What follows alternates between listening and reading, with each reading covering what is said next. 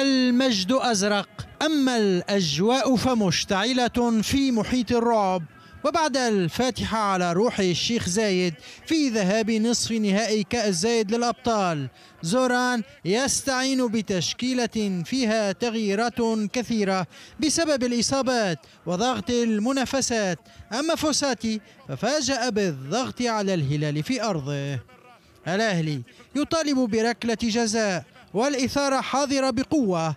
أما الفار فجعل الحكم واثقا من قراراته.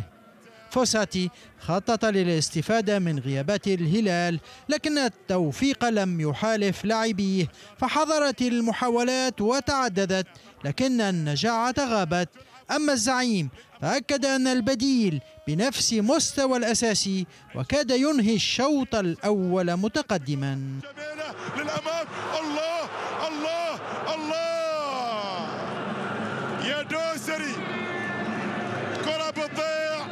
الأخطر للهلال.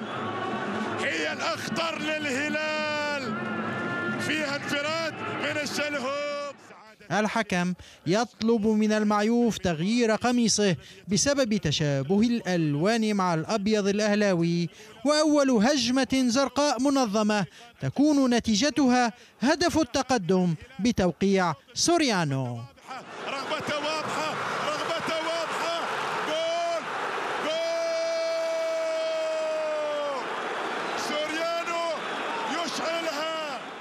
فرحة كبيرة في المدارج الزرقاء.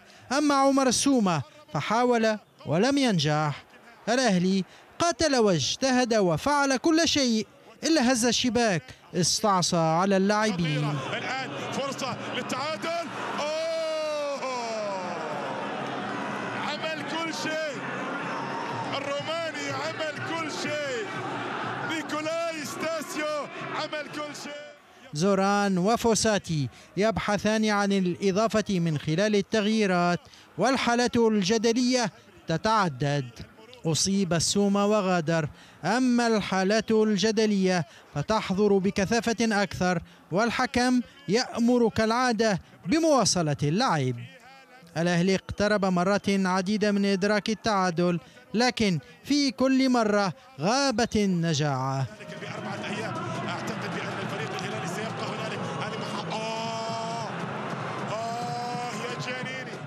الأهلاويون برئيسهم ومدربهم أقروا بإضاعتهم لعديد الفرص لكنهم احتجوا بقوة على أداء الحكم حتى أن فوساتي قال لعبنا أحد عشر في مواجهة أربعة عشر وطالبوا بالتدخل قبل موعد الإياب في جدة.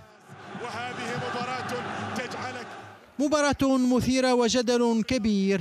لم يرضى الأهلي واحتفل الهلال لكن على الأهلي أن يجد حلولا هجومية لتجسيم الفرص. أما الهلال فيجب أن يتذكر جيدا أن هدفا واحدا قد لا يكون كافيا لبلوغ النهائي الحلم. حمادي جردبو صدى الملاعب.